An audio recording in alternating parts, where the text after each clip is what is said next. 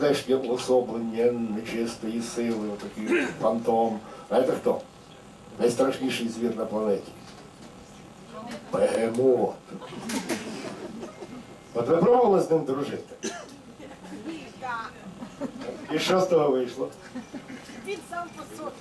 Е, е, е, мені казали е, такі серйозні дорослі люди, коли раптом прочитали цього вірша, кажуть, що воно їм якісь там міждержавні ці взаємини десь нагадувало. Я кажу, та ні, це просто звичайний дитячий вірш.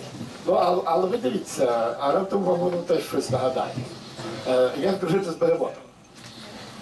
А дружити з бегемотом це непроста робота.